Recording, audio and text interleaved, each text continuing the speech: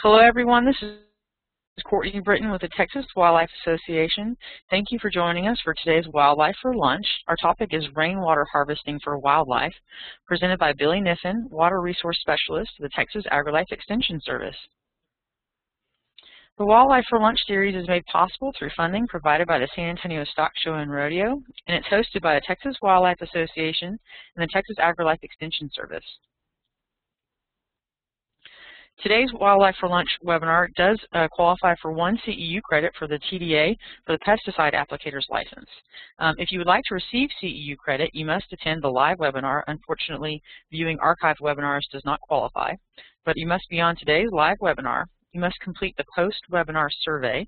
Um, at the end of today's webinar, when you uh, when we close out of the, the session, an automatic window will pop up that has the survey in it. And in that survey, you must provide us with your name, address, and either your applicator's license number or your driver's license number.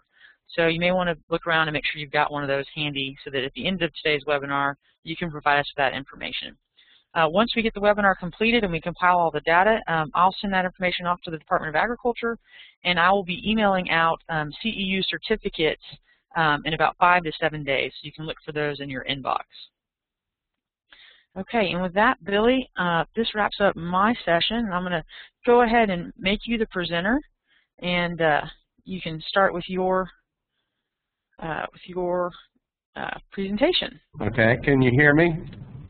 Yes, we can hear you. All right, excellent, uh, very good. Well, my apology for uh, being slow this morning. I'm in Seattle where the weather is terribly hot over here. We is in the 60s this morning, and they to get into the 90s, which would break records for them.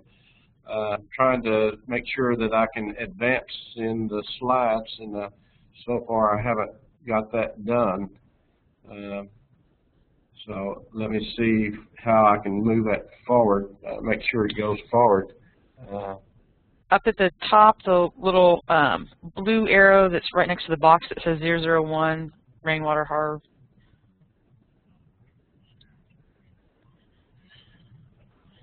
Um,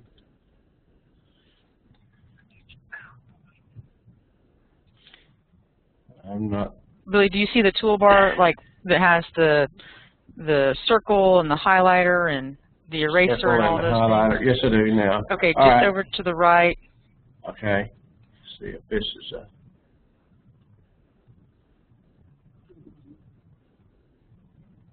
The the last little button on that and that toolbar is it, there's a little box that says 001 rainwater harvesting, and to the right of that is the is the advanced slide button. Okay. Uh, I don't have that on here, so.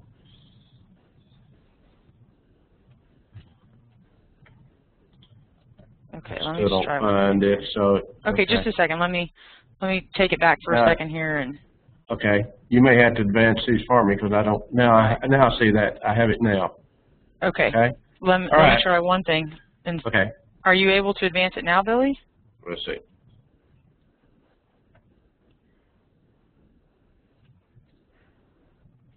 I can, Okay, now we see we're on we're on the third slide now.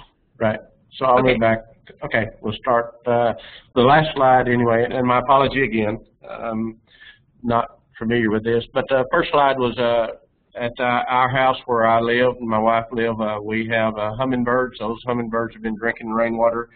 The only water we have at our place is rainwater, so that's what I provide for the wildlife of the hummingbirds as we ourselves as wildlife there. This third uh, slide here is of a, just a very simple, this two gallon, two gallon water jug that a gentleman takes and uh, dips into his rain barrel, uh, pulls it over, has it dripping in this little basin just to provide then for birds at that location, just to give uh, a sense of uh, providing water for wildlife. We can move from there into a little larger system. This just has a metal roof where it's got a gutter attached to it and runs right off into a water trough uh, that's open all the time. Uh, the problem with that, we get some evaporation with that, that uh, if it goes down, then I don't have any backups of storage, but it does provide then for that small red watering device there at the bottom that was uh, either made for hogs or for horses. Uh, back on the left side of that uh, red uh, con uh, container is a float that is protected then from wildlife from, from bothering it or then uh, disturbing it. Then from there, we can get into much larger systems. This is off of a larger roof where we've got a thousand gallon collection tank, uh, not necessarily perfect, but runs into another water trough. This is one designed for sheep, so it's dug down about one foot uh, to get it uh, at the ground level. But catching off that roof, running into that storage tank, uh, and then moving into there. So that's sort of where we can move from there, get into larger systems that's been constructed. Uh, this is one that's built in the 1960s uh, in far west Texas, really for the reintroduction of the bighorn sheep. One of the earlier ones that was uh, constructed, running into a large metal container, then a homemade uh, float device to provide a very small location for water uh, for wildlife where they could drink there without a lot of evaporation.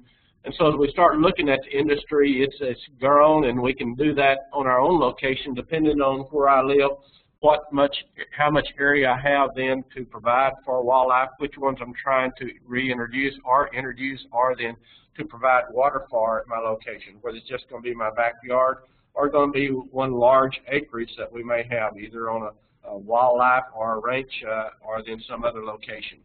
When I'm looking at then providing water for wildlife, I need to look at the whole habitat. What does it take then to survive, to provide for wildlife so they have everything that they need.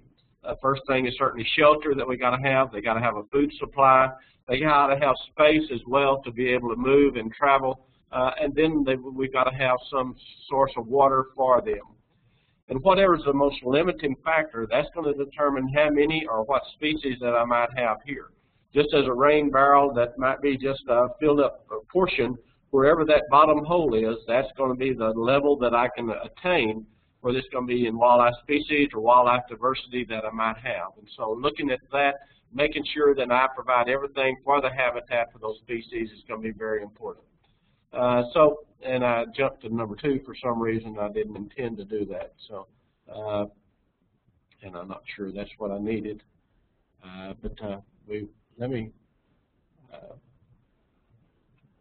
Uh, yes, uh, and this is going back to the limiting factors that we might have. Uh, we've got wildfires that's taken place. We've destroyed then the habitat for some of these species. Uh, so it's more critical as we start looking at from uh, areas that's been burned, that we've lost the food supply, we've lost the cover, and the other things are water is one of the things that we've got to supply. Then under the drought that we're in now, that we start looking at in a number of areas that uh, that stock pond, that creek, that spring has dried up, uh, we may have lost that water supply then for certain species of wildlife. And so we need to add that as a supplemental farm, then take care of our needs. So going back to the requirements there, first thing we've got to have is we've got to have a food source for these uh, species to live there. Uh, and it's going to be different for each one. When we start looking at the habitat requirements for deer uh, and the food source that they're going to require may be different than from a fox or than some other species of wildlife. And that diversity of plants is important. We got to have food 365 days of the year, not just a certain time. So diversity of plants is very critical as we try to meet our needs uh, in all this process. And so going back and looking at those things, diversity is extremely important that I provide for all species as well the diversity of species that I would like to have. So every plant's important, uh, every food source is important for them. Uh, just looking at deer, they will adjust their habitat or their food supply based upon what they have available to them or what they will eat based on that. So we're looking at certain seasons of the year, looking at here where there's lots of forbs, lots of uh, woody, lots of weeds that are out there. They will shift their diet primarily to them uh, versus then browse plants that may be more available to them during the drier time of the season or then during the winter time so they'll shift their diet to that. So having that diversity of plant, again, provides that time and that food source that we need. So diversity is, good, is important for all species there. Next is looking at cover and having a variety of cover and needs for that. Uh, looking at birds, they got to have an area there that they need to nest uh, as well as raise their young for different species of wildlife. So they have that cover and protection for them during that time cover from then uh, the elements, uh, the weather conditions that they may have, where it's going to be hot, they need to have that shade, need to be able to protect them as well during the winter time. And then protection from predators just as important as well, so that they feel safe and comfortable being at any one location. So that's important that we have then that, that cover for them, uh, and it and it varies depending on the target species that we're working off of. Next is space, and it doesn't take very much for that cottontail rabbit. Uh, I've had one that just stayed at our house, and we had a beagle dog, and every time we drive up, uh, they both knew what their job was. The rabbit was to run around the house. The dog was supposed to chase him around. Once they've done that, then they could go back to their spot and be okay.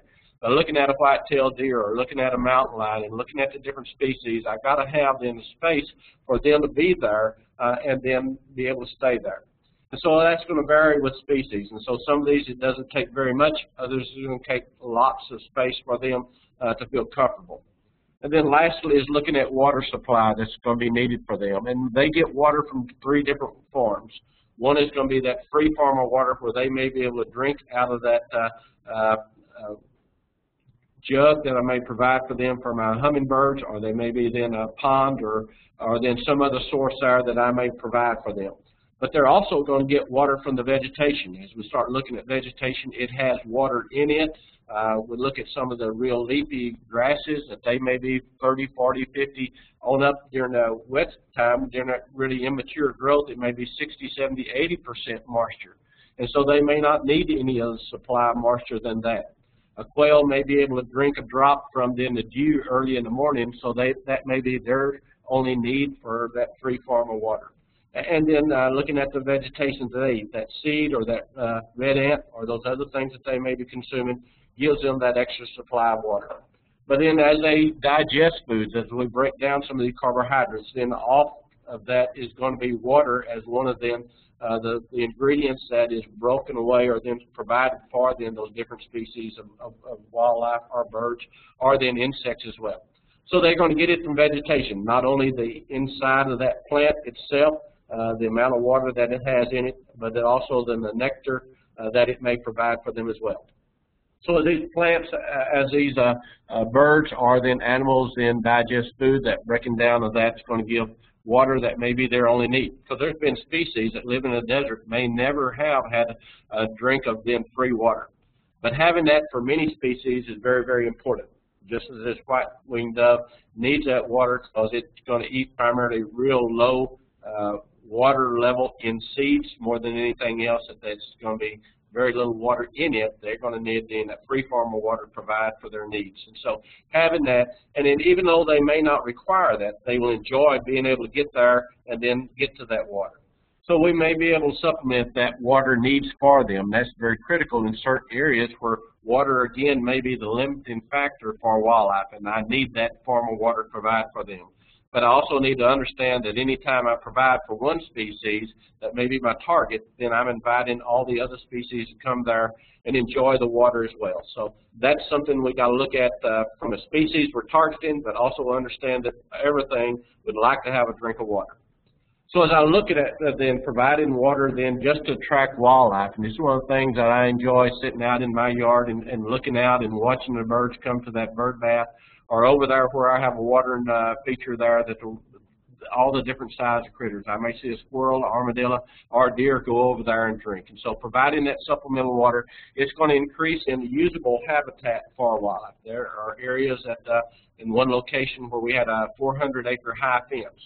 Uh, only in one corner was there any water supply. So putting in a wildlife watering device on the opposite side then expanded that habitat that was usable then for those species of wildlife that need water at a, at, at a lower, at a shorter distance away from that one watering device to the other. Then attracting additional species of wildlife and birds that come to your place. Uh, where I have a watering device, I'm now able to identify birds that I did not even know existed in our area. I see those different uh, uh, birds that come there that uh, enjoy the water supply. I have a pond that uh, they can go to, but they just like and are attracted to that dripping water uh, and will come to it at my place. And so I'll see lots of different varieties that come there and enjoy then that uh, free form of water at my location. Then it increases wildlife number and diversity that I might have there. So I attract then uh, more animals can live in that. So my, my habitat in that lower end of it, if that's water, then I am able to support more animals as well as more animals may come to there simply because I've got more Uh, of their habitat needs by providing that water. And it can be one of the wildlife improvement strategies as I start looking at then the wildlife tax evaluation that I may have on my property. One of those requirements may be then providing supplemental water. So then capturing rainwater and providing that location will give you that tax advantage or then one of those requirements to provide for that tax advantage. Now looking at how much water uh, need or how often do I need to have water, when I start looking at animals, how far they will travel, then I need to make sure I have one uh, for, for them. We're going to be working on one in uh, Sandia Mountains in uh, New Mexico in October. Uh, there, there's three miles away from any source of water. Uh, they're wanting to reintroduce uh, pronghorn antelope to this location. So providing water at a, at a lower uh, distance or less distance from the other water supply then will increase their habitat. Their white-tailed deer have not then been able to utilize this area as well because it's just too far away from water. So looking at then the distance that's going to be required, looking at larger animals, they can certainly move about half a mile or a mile or even further than that when you start looking at a, a male white-tailed deer. But uh, having that water for them is certainly going to let them travel less uh, than they burn off less energy then in moving to their water supply, and then that gives them more time to consume food that will then uh, help them then either grow larger antlers and be healthier uh, and maintain or gain more body weight. When we start looking at smaller animals, they you'd like to think that uh, that javelina or the fox or skunk of those they could travel uh, as much as a quarter of a mile to get to water. Uh, but uh, after that, there we start looking at the other animals. There, we know the whitetail, I mean the, the wild turkey, is going to be within a quarter mile of some water source where they're going to nest. And so having that water supply more often for them is going to expand that area where they can raise their young, feel more protected, and get that water that they need and go back to their nest. Other smaller animals are, they need water more often. We get into many of these songbirds or then some of these smaller animals, uh, they may live within one acre all their life. Bobtail, I mean, uh, bobwhite may then live in uh, 8, uh, 30 acres in majority of their life, even though they may travel further than that. But having it there for them is, is going to then uh, be advantageous for them to be able to have water supply. Well, how much water do they need? And I've just got then numbers from livestock since that's what I work with majority of my time or have in the past. Uh, and then that, that consumption, looking at one cow, be 7 to 18 gallons. That's a huge variety uh, then or, or extreme uh, from a low to a high. And all that's going to be then really based upon then uh, what they're doing, looking at a cow, is she nursing? Uh, is she then also very hot conditions that she's having to do uh, expire or sweat so that she can cool herself off? Uh, then also in the wintertime, that amount may be low because that uh, uh, they need less during the wintertime, a lot less evaporation. Then that's uh, the extreme air that uh, we may have those times when it is hot and dry. The food source is very, very dry. They need that extra supplemental water then to provide them for cattle. Same way we go with other species. We start looking down uh, how much is going to be required. Most of the time what we're looking at, we're not going to have these animals in cages, so we're providing supplemental water for them, so it's not as critical that I supply the full need for those species. They've got to be able to get a drink and then feel comfortable, uh, then go back to the other parts of uh, either grazing or, or then resting. Uh, so I may provide some of that, but if I'm looking at a sheep or goat, basically about two gallons per 100 pounds of body weight is about what they're going to consume uh, on a daily basis. And so it's, again, it's going to vary from one to four gallons for something that size of a white-tailed deer, much, much less when you get into smaller species. Uh, but providing the supplemental water may give them that chance to then get a drink there and then travel on uh, to other parts of their habitat.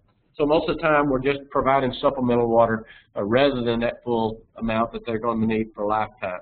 And then I've already mentioned some of the factors here, looking at green forage versus dry forage, looking at temperature where it's very hot, where it's very cold, looking at the humidity there, that they will, uh, it, uh, they may consume lots of water in this very high uh, humidity area versus an area where it's extremely dry uh, we expel lots of water just in our breath. And so in those locations there, I may need more water provided for them uh, simply because there is not much humidity.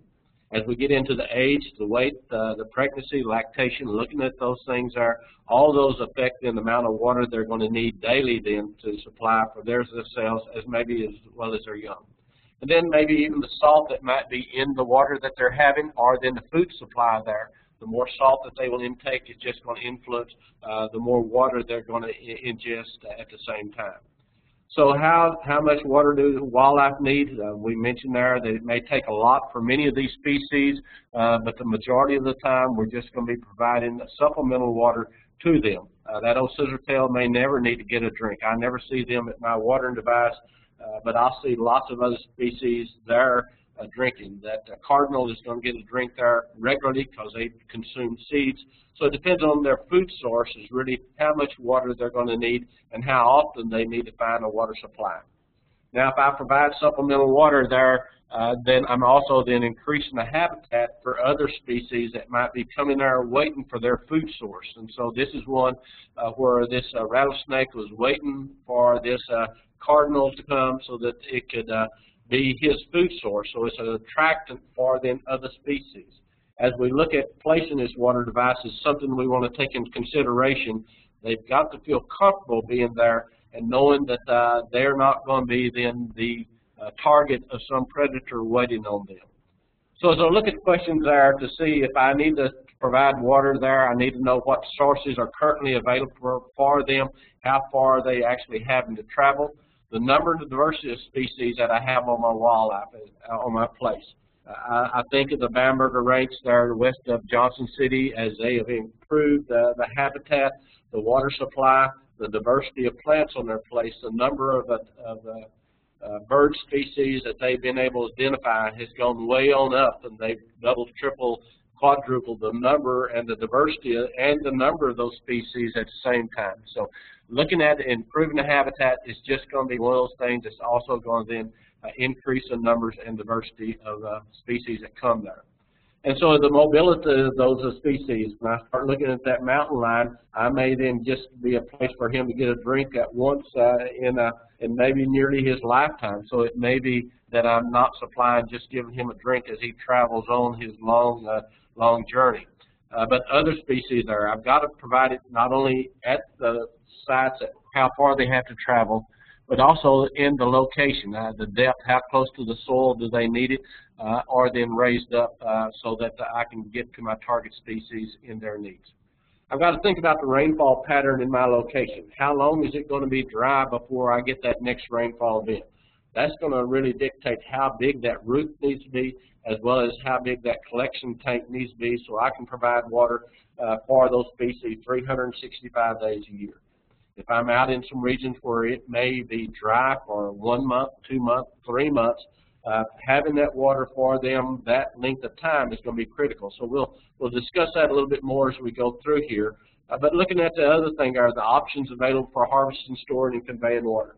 Uh, we get into West Texas, going on into then some of the Rocky Mountains there. We may have rock formations that water may rain on there, and we can utilize it to then force water into a storage tank and then provide for them for a long period of time.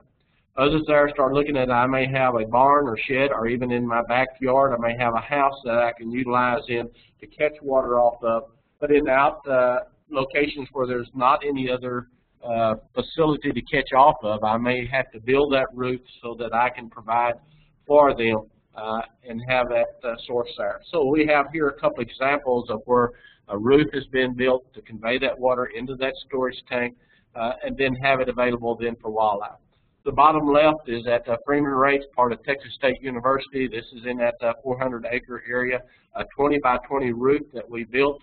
There are cattle in that area, so we put a fence around it so that the cattle would not get in, but wildlife could easily either go under or go over there to provide for them. The top picture, uh, not only is this uh, a place to provide food, but also to provide water. So this may be an attractant uh, for then some hunters uh, in the state of Texas, other or it may be a place where we can uh, then photograph animals if that's not uh, the way that we're doing it. So providing water at these locations is a way that uh, may keep us busy during the daytime while I'm sitting in that deer blind. Uh, I can see the other wildlife species go there, get a drink of water, where there might not be anything else uh, going on besides listening to some of the football games that might be on the radio. And so uh, start looking at the first, I want to go back and then really talk about habitat. I've got to have a habitat for them to be there. If just providing water may not be all that's needed. So this is a location that's close to me.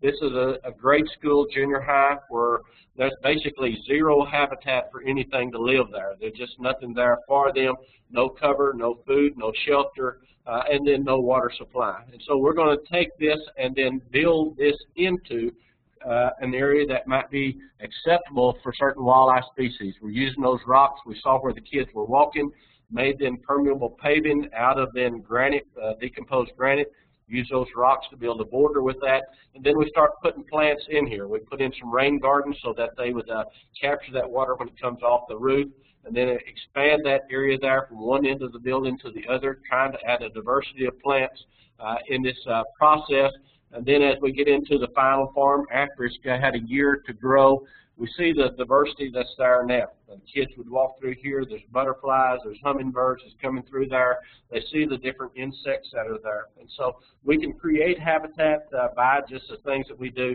in our backyard or in our back party that we may be providing water for uh, the different species. But habitat's very important uh, for any of the species that we're looking at and try and provide the cover, the food, uh, water, and then hopefully then the space as well that's for the target species we're working off of. So the last thing there, and I need to back up uh, in saying that every drop of water is important. And I'd like to say that every drop that falls on your place is critical. You make that decision where it's going to go. Is it going to run off or is it going to stay on that site? So think about then passive way of collection. I've got to have water to grow plants. I've got to have that to be able to get water into the ground. So all that's very critical to take care of my wildlife species. So think about the full habitat in, in the process. And so I can capture water off the top of the mountain. I can capture it then in low valleys as well. Uh, this is one that one of the early farms has put in where they had a concrete apron funnel water into a 3,000 gallon collection tank that's down below ground. Uh, then there's just an opening where wildlife can walk into there as water level goes down. Uh, then they can walk further in there to get to that water supply. There are companies now that provide something similar to this here uh, out of fiberglass that might be available and can be used. The places that I'm going to go in the Sandia Mountains, they have one similar to this already right up next to the mountain, which is one water supply source they have. But uh, we're going to be putting them in much further away than this here. This is one I mentioned earlier, one of the more other farms that we can do where I can build that metal roof a lot cheaper this can be a flat roof that's just a shed roof that's sloped to one, out, one end, or it can be sort of a wing shape that uh, would funnel water to the center, uh, then run into the storage tank. It makes no difference on which direction that I would go with that. And I can have my own roof that just runs straight into that collection tank. This is one at the, uh, out in West Texas at the Chihuahuan Desert Research Institute where this uh, roof then funnels water into about a thousand gallon tank and then off to the side about uh, 30 yards is this water device that was really designed for horses. It has a float that's protected. It's all in concrete so it cannot be torn up near as easy, but then it's just going to gravity flow to this side. And so we can provide animals uh, water at this location. These are some pictures that was taken there by a motion sensor camera. Just give you an idea of the different species that would come to that site uh, and utilize that water supply. This is one I showed earlier there at the Freeman Ranch that would funnel water into that storage tank. They, they saw that uh, they were not utilizing enough water, so that was overflowing. Uh, so then they could add another storage tank and then add another water supply out closer to a tree or to another shrub uh, to provide then additional watering for then other species of wildlife that might not feel as comfortable going underneath that shed. But going back to a simple one that I have, this is one I have in my house. The roof is six foot by eight foot. Now for every one square foot, one inch of rain yields six tenths of a gallon of water. One square foot, one inch of rain, six tenths of a gallon of water. So this in here is six foot by eight. We can multiply that. Six by eight is 48 square foot. I've got a wide gutter to make it 50 square feet. So if it rains one inch off of 50 square foot, 50 times 0.6 is going to be 30 gallons. It's going to come off that roof. And so I've got a 300 gallon collection tank. Uh, so it's going to take 10 inches to fill it up. Now it's going to go to a bird bath that's going to drip about one drop per second. Uh, so in that process there, I want to know how much water is going to take then to provide for a bird bath, bird bath that drips a drop a second uh, and, and, provide for them. Uh, so I've already gone through this here, so I'm going to go, hopefully I'll go to the next number here uh, that's going to ask you then how much it is. And so get that ideal. This is in uh, El Paso, Texas. This at the desalination plant that's there. Uh, I'm going. That's an educational facility that you have in, in the front of that, the TecH2O facility. I'm going to put a 1,500 gallon collection tank here. It's going to be catching off of one downspout, uh, going into this 1,500 gallon tank. I'm going to have it where it's going to go down from that uh, roof drain underground and rise back up to go into this collection tank. Uh, it's a black poly tank to begin with. Uh, then I'm going to run across, it's going to go from this uh, primary roof drain on the left side, go across where it's going to go at this step so nobody trip over that pipe, go underground, uh, then rise back up to go into the collection tank. Uh, from there, it's going to go into the top of it, uh, and then an overflow that's going to go through that dry stream bed into this uh, dry uh, rain garden that's at this location. Now, when I was, uh, this is sort of the finished picture from this side. Uh, as I was putting a wood covering around it, I just put some ropes around it and start sliding these wood slats in it. But as I was doing this, it, it started to rain. This is November a year ago, so it's about a year and a half ago uh, there in El Paso. I gathered up my tools, started to drive away, but I came back to take some pictures of it, and so this is the, during the rain that you can see water running uh, there on the ground all around this facility. Uh, then it, it was gone just about as quick as it came, about a 10-minute downpour. So I went around to the other side to see where water was coming out that primary downspout, uh, then went back to the side where I caught this water, put it into this collection tank. Now we have six tenths of an inch of rain during that little downpour. I caught 800 gallons of water off this one roof drain. But as I did this, uh, the rain was over, I drove away, and what do people do? We send all of our water off of our roofs, out of our yards, straight into the streets, off, get it into the river as fast as we can, and so that we can uh, then buy municipal water or take water out of our well. We've got to figure out how to capture this water and utilize this. And so if I've got this going to a bird bath, it's going to drip a drop a second, I need to know about how many drops are in a gallon of water. And so the first thing there, there's about 90,400 drops in one gallon of water. So if it drips about one drop a second, I need to know about how many seconds are in a day. And so in a 24-hour day, there's 86,400 seconds, which means if I drip about one drop a second, then I have uh, provided then one gallon per day to provide for this bird bath that I'm going to utilize. And so this is what I've built there. Uh, you can't hardly see it, but there's a tree right next to the side of this.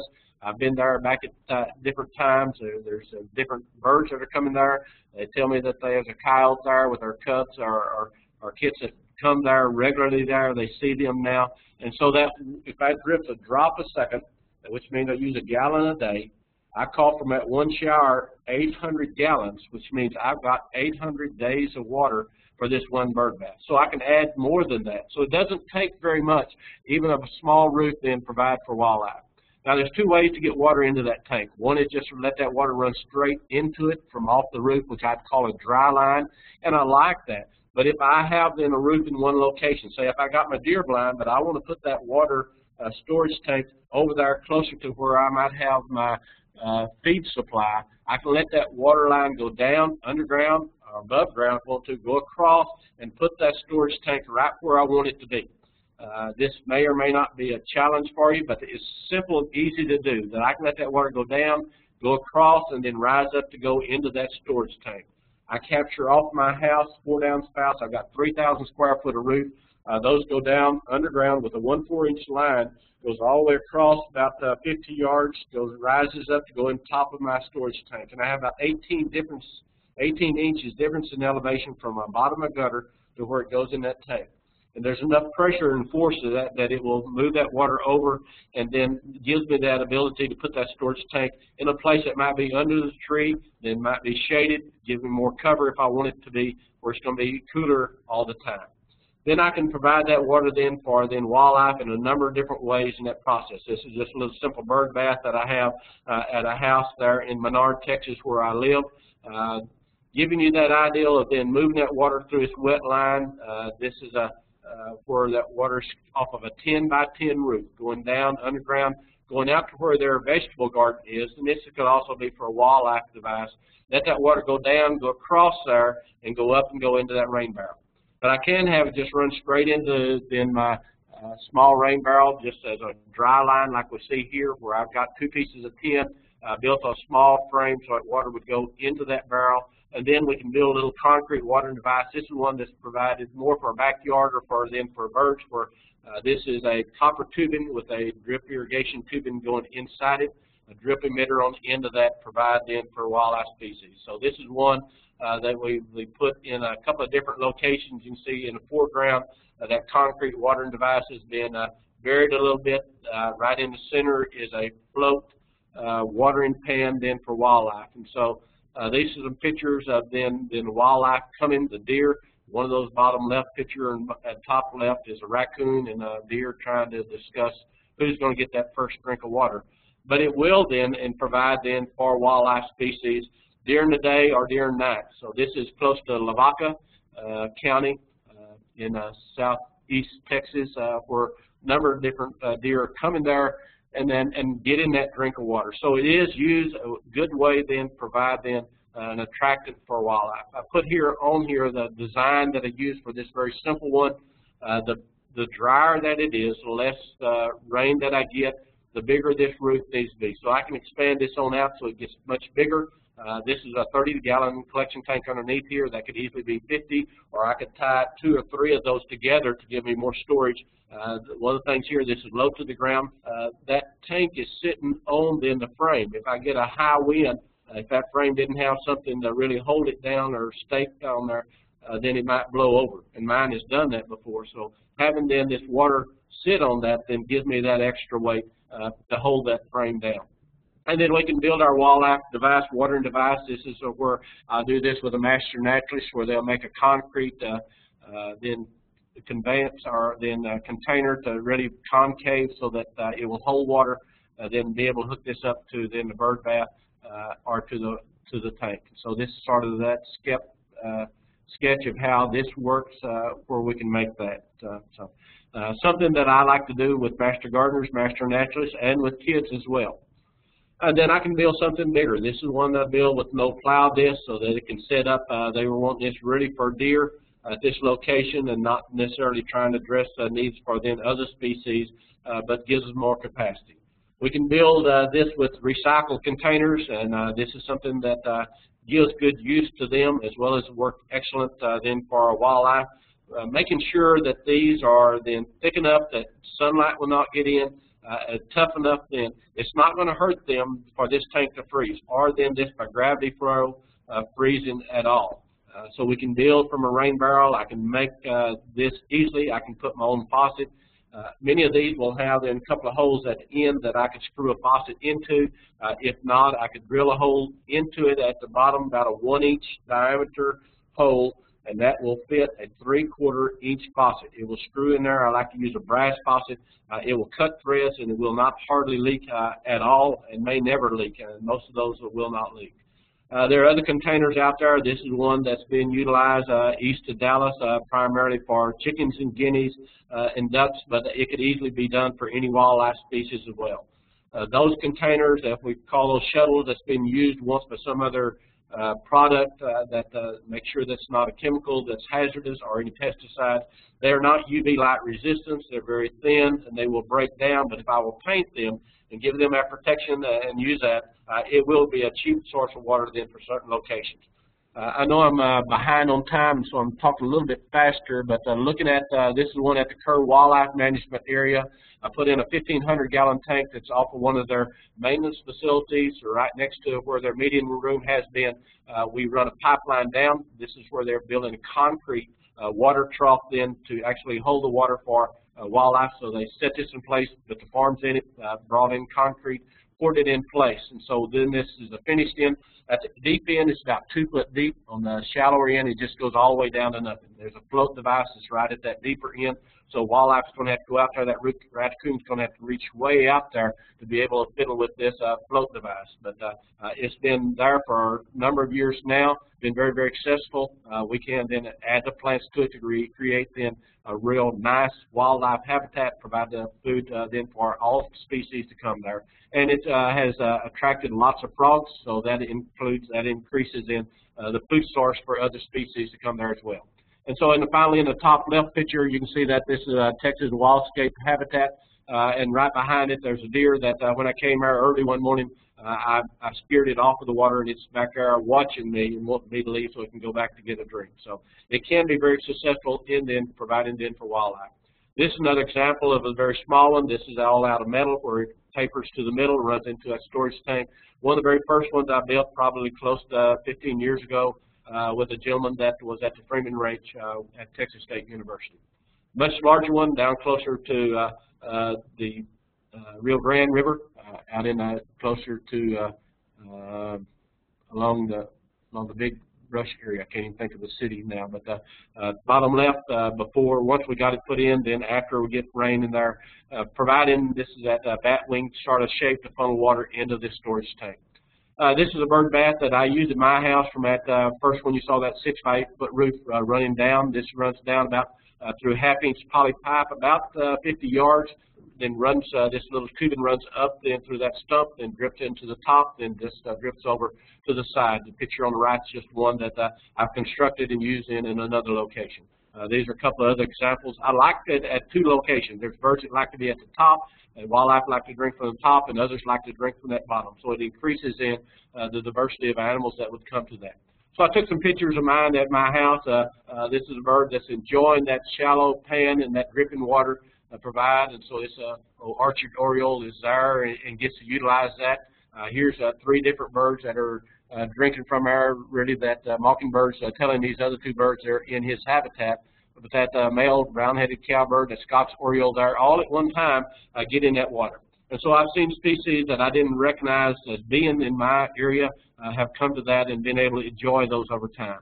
It's fun to watch these different species, and you'll see that drop forming here. This is an adjustable drip emitter, uh, and, and, this, uh, uh, and I'm not positive, but I think it's a crown kinglet that, uh, that sees that drop forming, and the next thing it's going to do is going to catch that drop before it ever falls, uh, then it goes back up, swallows that, then it waits for that next drop to come down. So been fun to watch the different species come there and enjoy that. This is one that I built, found an old rock that's sort of concave, uh, done the same thing with it, have then copper tubing that comes up and around and drips, then provide then for the birds at this location there.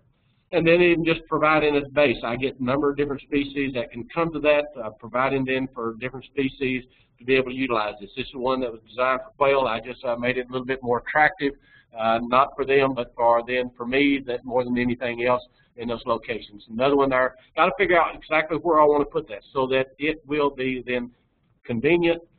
The species come there, feel safe to be able to utilize that uh, over time in there. So things I need to consider. Uh, as long as there's nothing under pressure, this can continue to drip. This mine where it'll freeze there in, at night, it's gotten down to five degrees before. Uh, nothing's ever busted. This is just freeze. Then once that the sun gets there, it thaws out, then it just starts again, uh, dripping again. So I've never had a concern, never had a problem on this here in the last 10 years that I've utilized this here. Now the storage tank is not going to hurt it to freeze there. Unless I get into a smaller rain barrel, it may freeze solid. But most of these here where I've got lots of water in there, uh, even in Kansas where there was one there that was uh, uh, 1,500 gallons on a trailer. It was down below zero for over a week. They had ice about 8 to 10 inches thick. Uh, they had a heat tape on it where they were providing for livestock. Uh, never froze. They always had water for those animals there all the time. So it's not going to hurt the tank, uh, but the, all the things coming out of there, if they're under pressure, they're certainly going to, going to freeze. Now I need to provide that water right where the species are, and they like to hear that sound of dripping water, and it really will entice them to come to that. Things I want to make sure that I don't drown any species that might fall in there, that water's not deep enough. The one on the left I don't like, it's too big, that water is stagnant, it's not turning over uh, enough. Uh, then it turns into a habitat then for mosquitoes. There's not any dripping water. I like that dripping water just to break that uh, surface uh, so that mosquitoes not attracted to that site. But I got to have a way to get the, those animals out of there. One on the right there our house from rocks in it that uh, then birds will come to that. This is one of the World Birding Centers. Uh, the birds will come there and light on that, get a drink. They also have some little uh, spaces there that they can uh, easily uh, get into and get out of and then to take a bath with. I want to protect it so that it's not then torn up by feral hogs or other things, so making sure this is not going to be destructed uh, or torn up. Providing where they feel safe. And these, these quails that's underneath here, they feel safe then from uh, those hawks or other predators that might get to them.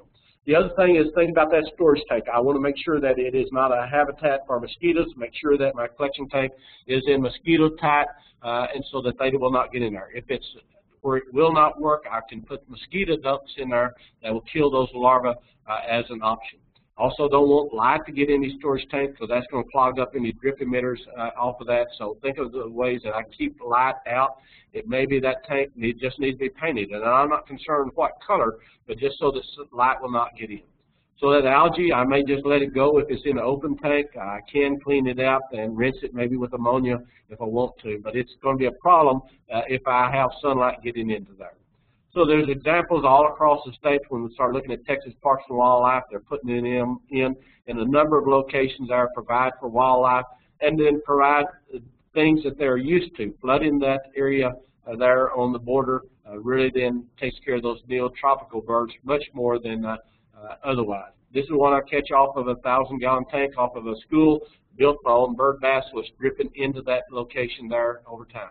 But think about the bigger tanks uh, where I may have more exposure to evaporation, especially in drier climates. It, I may lose a lot of water evaporation.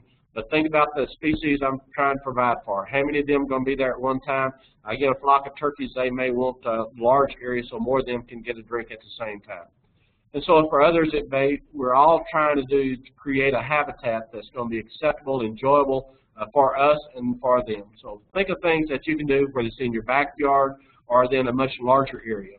I'd like to finish just with my house, just giving an example of then what we can do at our location. Bottom left picture is my sort of my type of landscaping in the front yard. Uh, this is looking out my uh, kitchen window where I like uh, animals to come there and enjoy my location. I enjoy watching them. This is my backyard as well. Uh, then I then I have my bird bath right out the side where I can watch a number of species come to there. Uh, and uh, so think about your home, making it a place in for all species, our uh, habitat for them the best that we can. Teddy Roosevelt said right at 100 years ago, a nation behaves well if it treats those natural resources as an asset. We got to turn over to the next generation, increased and not impaired in value. We've done lots of destruction to habitat. We need to, this generation, then to recreate that and improve that. So rainwater is one of the ways that we can do that, providing for the habitat, making it enjoyable for them, and certainly enjoyable for us as well. I'm going to do a workshop in, in just north of Albuquerque on October 22 to 24. Uh, there's information on that that uh, I can provide to you, but uh, Timothy Smith that works there at that uh, Pueblo, uh, this is his phone number. The cost for that's going to be two and a half days. The first day we're going to get in some basics, build a rain barrel for then uh, small species. The second day we're going to build a larger one on one of the Sandia Mountains right at the base of it for the pronghorn uh, sheep, pronghorn antelope, uh, deer, and other species. And the third day we will build two more on up the, closer to the mountain, base of the mountain. Should be a prime time to go. Enjoy seeing lots of different wildlife species in that area. So uh, call Timothy if you're interested in that. I think he's taking 40 people uh, to go through this workshop. So uh, I'll be there. I invite you to come there and be a part of it if you'd like to. Lastly, there's some resources out there. Certainly, then the Wildlife Association has those resources. Texas Parks and Wildlife, as well as Extension Service, that uh, uh, we would be able to provide you if you're interested in some other things on then uh, rainwater harvesting for wildlife species. So with that, I thank you for your time. I apologize again for getting on late with you, but uh, this is my uh, email address. You're certainly welcome to email me at any time. I've been working with Extension Service. I'm about to retire full-time and get off of their uh, mailing list or off of their website. I'll never get off their mailing list. But uh, anyway, if I can help you in any way, uh, please call me. Uh, I'd be glad to help you and work with you in any way I can. So with that, I thank you very, very much with your time. Uh, are there any questions that anyone has that I can respond to? Billy, thank you so much for your presentation. Uh, folks, if you've got any questions, feel free to type them into that chat window right now and send to all participants. We do have one question. Uh, David would like to know where you would recommend uh, getting detailed designs for uh, rainwater catchment systems. There was an old booklet that was put together by, uh, I think, then one of the USDA uh, now called Natural Resource Conservation Service that uh, was put together. Uh, it went out of date, was not redone. Texas Parks and Wildlife put one together very similar. And so the Extension Service, uh, about five years ago, then combined those into one that gave lots of uh, different uh, sketches of different ways of collect water, different types of watering devices that are out there. So it's on our uh, extension service uh, bookstore, or you can go to my website, which is rainwaterharvesting.tamu.edu. That's right in the middle of this here uh, that it's you can get it from that uh, find it on that website. This is mine. There's lots of videos. Some of them are on wildlife. I'm, I'm making some more videos that'll be on that website. But that rainwaterharvesting.tamu.edu will be a good resource uh, from the Extension Service to provide booklets as well as in uh, some videos that you might look at. Excellent. And it looks like we haven't gotten any other questions in, so maybe we managed to get them answered. Um, so folks, if you are um, looking for CEU credit, just a reminder that you're going to get a, um, a, survey that pops up here when we close out of the window, and make sure you complete that survey um, to get your CEU credit. And um, other than that, Billy, I can't thank you enough. Um, on behalf of TWA and AgriLife Extension, we really appreciate you doing this presentation for us. And um, folks, from, uh, from here on out, we'll have this one archived on the TWA website.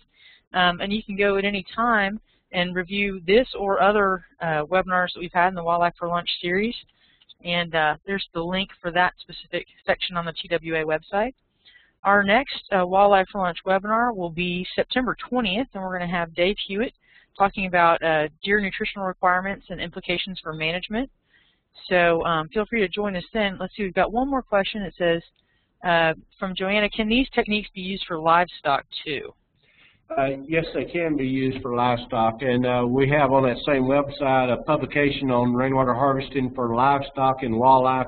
I also have then a four-series video, uh, not a, a, training course that uh, uh, you could take if you really want to get in depth in that. The first half of that is for livestock, looking at then alternatives and providing. The thing that when you start looking at wild, livestock species, our cow is going to need around 15 gallons per day. If I have very many, it's just going to take a lot of water. Uh, there is a location uh, by Brownwood where he has 18 horses. Uh, rainwater is his sole supply for those 18 horses. Uh, it is done for sheep and goats. It can be then utilized in small locations where then I want to keep uh, animals in a trap for a short time. One of the things that I didn't uh, that you might think about is that uh, through the USDA, one of the EQIP programs is in uh, they will cost share some of these wildlife devices uh, in West Texas. They will also then cost share some of these in other locations, catching off of a barn so they reduce then the amount of pollution from manure that would go into some of our riparian ways. And so there's some cost share possibly for that and utilizing that for the livestock. Many of these old barns may have then a windmill and a large concrete watering device. I can capture off this barn and put into that concrete just to help that windmill out during certain times of the year. So that's done as well as in uh, utilizing this strictly for livestock or wildlife.